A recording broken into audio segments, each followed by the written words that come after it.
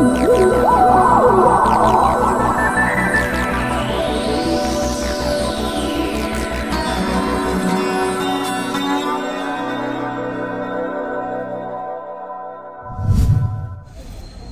ಇಲ್ಲಿವರೆಗೂ ಎಂತೆಂಥ ಫಂಕ್ಷನ್ಸ್ ಹೋದರೂ ಸಹ ನನಗೆ ಇಲ್ಲಿ ನಾನು ನೋಡ್ತಾ ಇರೋದು ನನ್ನ ಮನಸ್ಸಿಗೆ ಬಹಳ ಸಂತೋಷ ಆಯಿತು. ಅದಕ್ಕೆ ಬೇರೆ ಯಾರ ಕೈಲೂ ಆಗೋಲ್ಲ.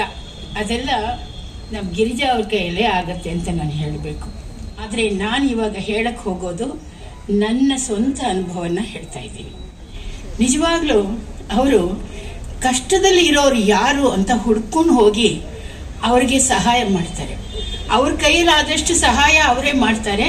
ಅದು ಅಷ್ಟಕ್ಕೆ ನಿಲ್ಲಲ್ಲ ಅವ್ರಿಗೆ ಇನ್ನೂ ಎಷ್ಟೋ ಬೇಕಾಗಿದೆ ಅಂತ ಹೇಳಿ ಅವ್ರಿಗೆ ಅದನ್ನ ಮಾಡಕ್ಕೆ ಯಾರಿಂದ ಆಗತ್ತೆ ಅಂತ ಹೇಳಿ ಅವ್ರನ್ನ ಹುಡ್ಕೊಂಡು ಹೋಗಿ ಅವ್ರ ಹೇಳ್ತಾರೆ. ನೋಡಿ, ನೀವು ಅಂಥವ್ರಿಗೆ ನೀವು ಸಹಾಯ ಮಾಡಬೇಕು ಅಂತ. ನಮ್ಮ ಬಗ್ಗೆ ಅವ್ರ ಹತ್ರ ಹೇಳಿ, ಅವ್ರ ಮುಖಾಂತರ ನನಗೆ ಏನಾದರೂ ಸಹಾಯ ಬರೋ ಥರ. ಈ ರೀತಿ ನನಗೆ ನಿಮಗೆಲ್ಲ ಗೊತ್ತಿರೋ ಹಾಗೆ ನಾನು ಇವರು ಹೇಳಿದ್ರು ಫಿಲ್ಮ್ ಏರ್ ಹೋಸ್ಟೆಸ್ ಆಗಿ ಇದ್ರದ್ದು ಹೌದು. ಏರ್ ಹೋಸ್ಟೆಸ್ಸಿಂದ ಆಗಿ ಅಲ್ಲಿಂದ ಸಿನಿಮಾ ಇಂಡಸ್ಟ್ರಿಗೆ ಬಂದು ಪಂಚಭಾಷಾ ತಾರೆ ಅಂತ ಅವಾಗ ನನಗೆ ಘೋಷಿಸಿದ್ರು. ಚಿತ್ರಗಳಲ್ಲೆಲ್ಲ ಮಾಡ್ತಾ ಇದ್ದೆ.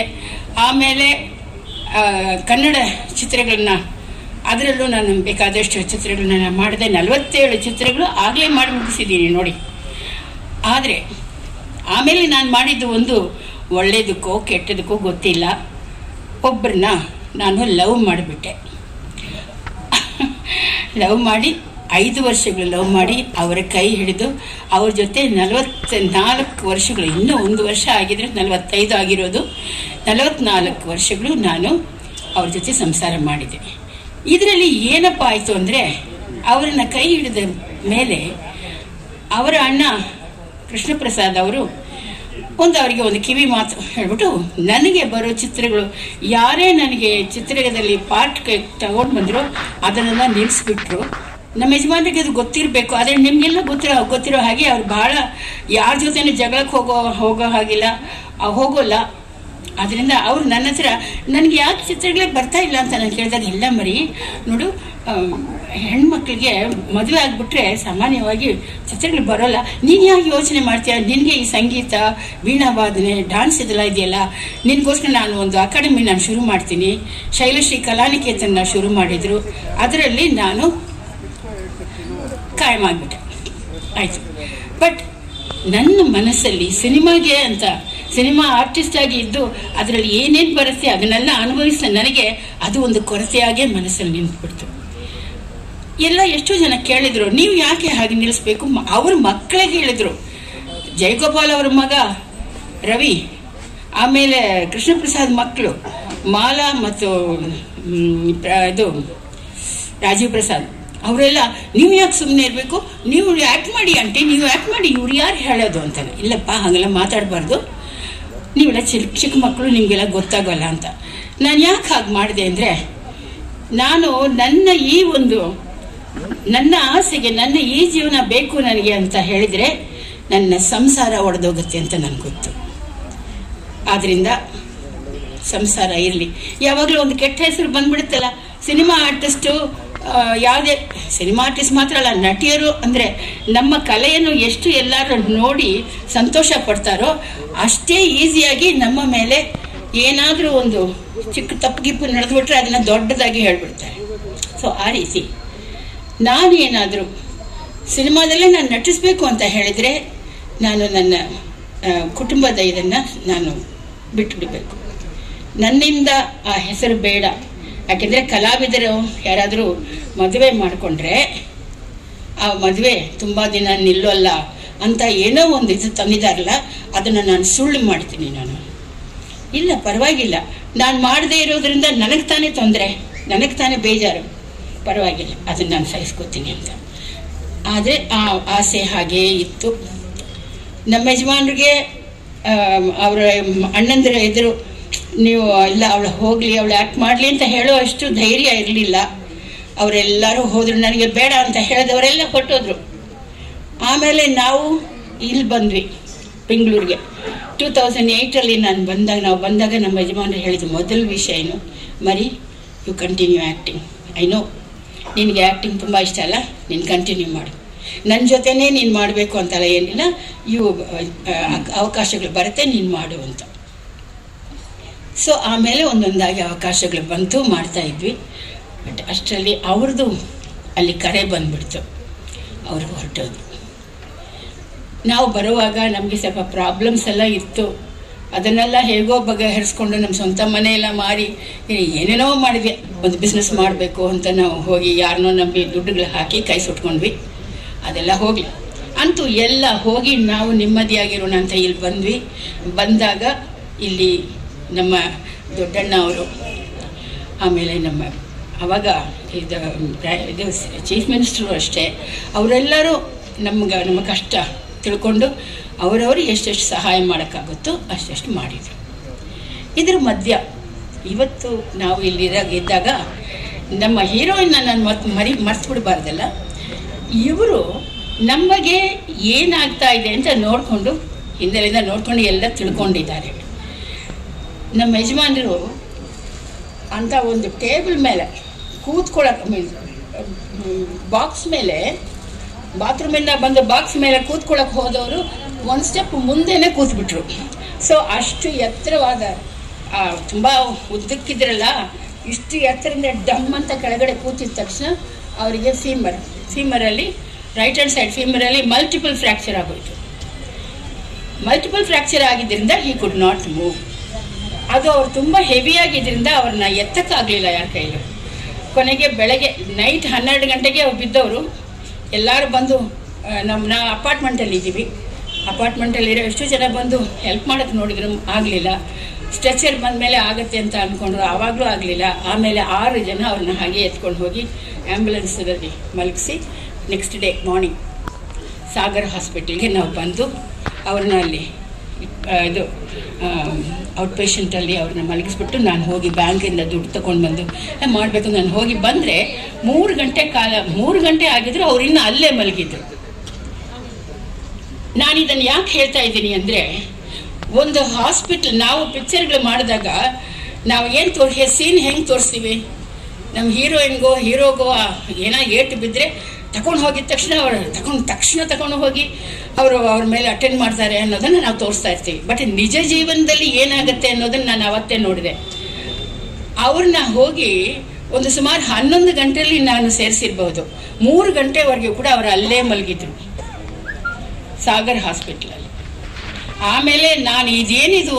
ನಿಮ್ಮನ್ನು ಹೀಗೆ ಮಲಗಿಸ್ತಾರಲ್ಲ I gone talk to the doctor ಅಂತ ಹೇಳಿ ವಾಪಸ್ ಬರ್ತೀನಿ ಅವರಿಲ್ಲ ಅಷ್ಟರಲ್ಲಿ ಅವ್ರನ್ನ ಎಕ್ಸ್ರೇ ಇದಕ್ಕೆ ತಗೊಂಡು ಹೊಟ್ಟೋದ್ರು ಅಲ್ಲಿಂದ ನಿಧಾನವಾಗಿ ಇವ್ರಿಗೆ ಏನೇನು ಬಂದಿರಬಹುದು, ಇವ್ರು ಇಷ್ಟು ವಯಸ್ಸಾದವರು, ಇವ್ರಿಗೆ ಯಾವ ಯಾವ ಕಾಯಿಲೆಗಳು ಬಂದಿರಬಹುದು, ಯಾವುದರಿಂದ ಇವ್ರು ಇದು ಮಾಡ್ತಾರೆ, ಈ ಥರ ಏನೋ ಒಂದು ಯಾಕೆ ಹೇಳ್ತೀನಿ ಅಂದರೆ, ನಿಮ್ಮೆಲ್ಲರಿಗೂ ಗೊತ್ತಿರೋ, ನಿಮಗೆ ತಿಳಿಸಿರೋದು, ಅದೆಲ್ಲ that is not true what I am telling you now it's the real truth next day early morning ನಮ್ಮ ನಾದಿನಿ ಮಗ ಅಲ್ಲೇ ಇದ್ದ.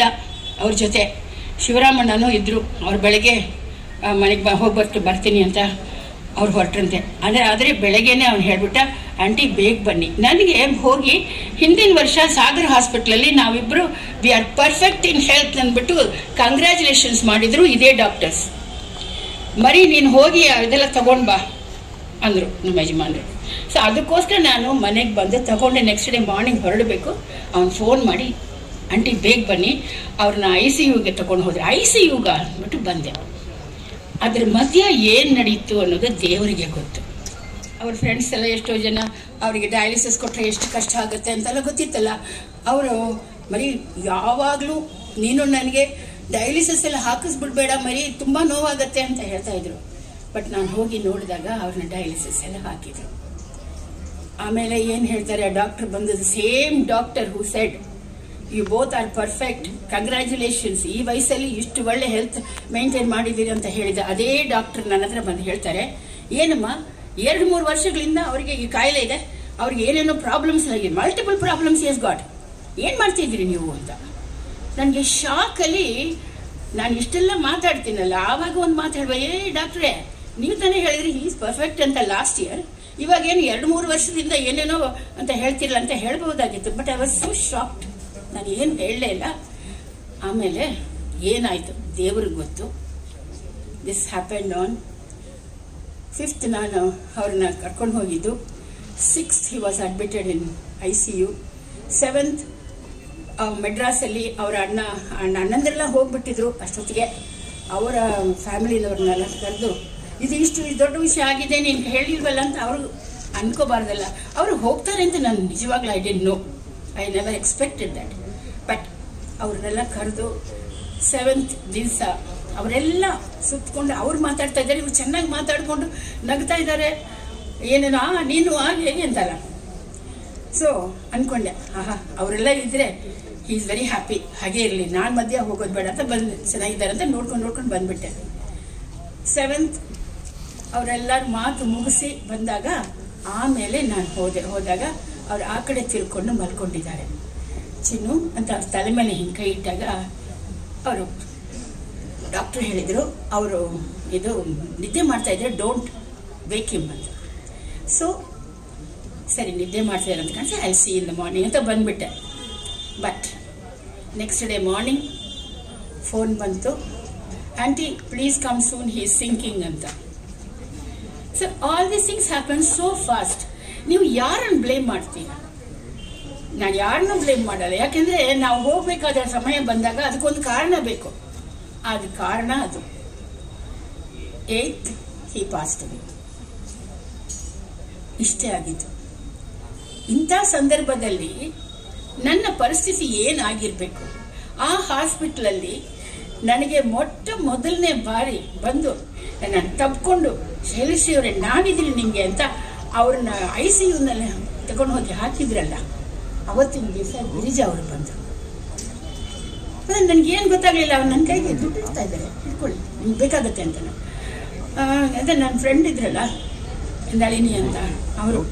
ಅವ್ರಿಗೆ ಕೊಟ್ಟೆ ನೋಡಿ ಅವ್ರಿಗೆ ಕೊಡ್ತಿದ್ದಾರೆ ನನಗೆ. I don't know what to do ನಾವು ಅಂತ ನಾನು.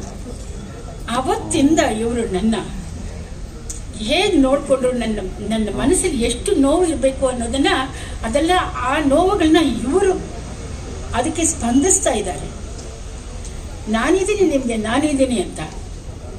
ನಿಜವಾಗ್ಲೂ ಅವತ್ತಿಂದ ಶುರು ಮಾಡಿದ್ದು ನಮ್ಮ ಇಂದು ಈ ಒಂದು ಕಂಪ್ಯಾನಿಯನ್ಶಿಪ್ ಆಮೇಲೆ ಅವ್ರು ಹೇಳಿದರು ನೀವಿಬ್ಬರು ಅಕ್ಕ ತಂಗಿರು ಡ್ಯಾನ್ಸ್ ಮಾಡೋವಾಗ ನಿಮ್ಮ ಡ್ಯಾನ್ಸಿಗೆ ಮಧ್ಯ ನಾನು ಬಂದು ಡ್ಯಾನ್ಸ್ ಮಾಡ್ತಿದ್ದೆ ಗೊತ್ತಾ ಅಂತಲ್ಲ.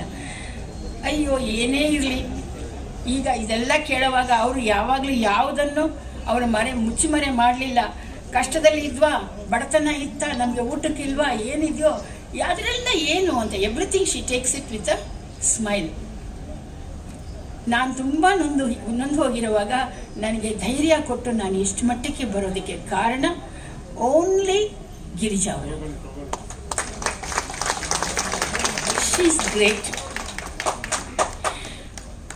I seen lot of people ಅದರಲ್ಲಿ ಎಷ್ಟೋ ಜನ ಅವ್ರಿಗೆ ಇರ್ಬೋದು. ಅಯ್ಯೋ, ಪಾಪ, ಇರ್ಬೋದು. ಬಟ್ ಅಷ್ಟ್ರ ಮೇಲೆ ಇಲ್ಲಿವರೆಗೂ ಬೇರೆ ಯಾವ ನಟ ನಟಿಯರು ಬಂದು ನಾನು, ಏನ್ರಿ, ಹೇಗಿದ್ದೀರಾ? ಏನಾಗಿದೆ ಅಂತ ನೋಡಿದ್ದಿಲ್ಲ ಹೇಮಾ ಚೌಧರಿ ಅವರು ನನಗೆ ಒಂದು ಚಿತ್ರಕ್ಕೆ ರೆಕಮೆಂಡ್ ಮಾಡಿ ನಾನು ಬ್ರಹ್ಮಾಸ್ತ್ರ ಚಿತ್ರ ಅದು ಸೆಮಿ ಐ ಮೀನ್ ಸೀರಿಯಲ್ನಲ್ಲಿ ಮಾಡಿದೆ. ಯಾರು ಒಳ್ಳೇದು ಮಾಡಿದರೆ ನಾನು ಖಂಡಿತ ಅದನ್ನು ಹೇಳ್ತೀನಿ. ಆದರೆ ಅದಕ್ಕಿಂತ ಹತ್ತಿರವಾಗಿ ಬಂದು ನನ್ನ ಫೀಲಿಂಗ್ಸ್ ಏನು, ನಾನು ಹೇಗಿದ್ದೀನಿ ಅಂತ ನೋಡ್ಕೊಂಡಿದ್ದು ಗಿರಿಜಾ ಅವರೇ. ಅವಾಗಲಿಂದ ವಿ ಬಿಕೇಮ್ ವೆರಿ ಕ್ಲೋಸ್ ಆಮೇಲೆ ಗಿರಿಜಾ ಅವರು ನಾನು ಮಾತಾಡ್ತಾ ಮಾತಾಡ್ತಾ ಅವ್ರು ಹೇಳಿದ್ರು, ನಾವು ಇಬ್ಬರು ನೆಂಟರು ಗೊತ್ತಾ? ನಿಮ್ಮ ಮಾವ ಮತ್ತು ನಮ್ಮ ಮಾವ ಇಬ್ಬರು ಅಕ್ಕ ತಂಗಿಯರನ್ನ ಮದುವೆ ಮಾಡಿಕೊಂಡ್ರು, ನಾವು ಇಬ್ಬರು ನೆಂಟರು ಅಂದರೆ ಲಕ್ಷ್ಮೀಬಾಯಿ ಮತ್ತು ಕಮಲಾಬಾಯಿ ಅಂತ ಸಿಸ್ಟರ್ಸ್ ಇದ್ರು. ಅವ್ರನ್ನ ಲಕ್ಷ್ಮೀಬಾಯಿ ಅವ್ರನ್ನ ಇವರ ಮಾವ ಮಲ್ಕೊ ಮದುವೆ ಮಾಡಿಕೊಂಡ್ರು. ಕಮಲಾಬಾಯಿ ಅವ್ರನ್ನ ನಮ್ಮ ಮಾವ ಮದುವೆ ಮಾಡ್ಕೊಂಡಂತೆ ಸೊ ನಾವಿಬ್ರು ನೆಂಟರು.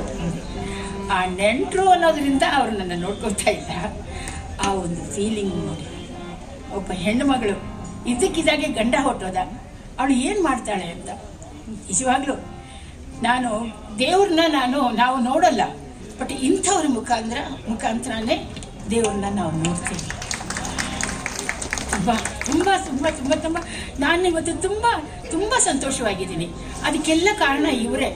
ನೋಡಿ, ನೀವು ಹೀಗೆ ಯಾವಾಗಲೂ ಹತ್ಕೊಂಡು ಎಲ್ಲ ಕೂತ್ಕೋಬಾರ್ದು.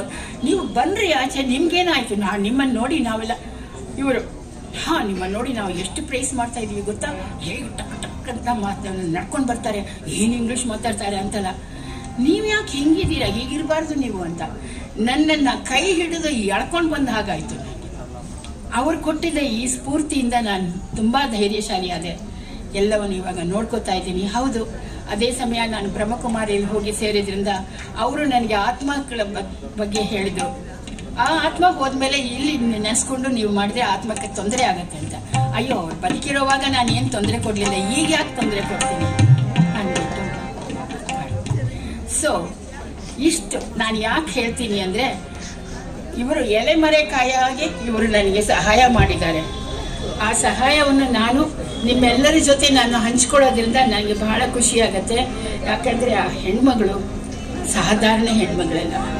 ಸಾಕ್ಷಾತ್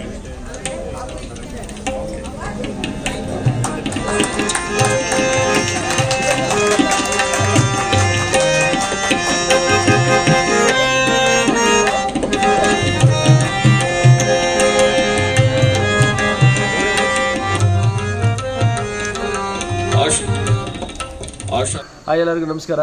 ಸಿನಿಮಾ ಮತ್ತು ಸೀರಿಯಲ್ನ ಲೇಟೆಸ್ಟ್ ಅಪ್ಡೇಟ್ಗಳನ್ನ ತಿಳ್ಕೊಳ್ಳೋದಕ್ಕೆ ಪಾಸಿಟಿವ್ ಪಿಕ್ಚರ್ ಈ ಚಾನಲ್ನ ಸಬ್ಸ್ಕ್ರೈಬ್ ಆಗಿ, ಹಾಗೆ ಅದರ ಲೇಟೆಸ್ಟ್ ಅಪ್ಡೇಟ್ಸ್ಗಳನ್ನ ತಿಳ್ಕೊಳ್ಳೋದಕ್ಕೆ ಇಮಿಡಿಯೇಟಾಗಿ ಕೆಳಗಡೆ ಇರುವಂಥ ಬೆಲ್ ಐಕನ್ನ ಪ್ರೆಸ್ ಮಾಡಿ.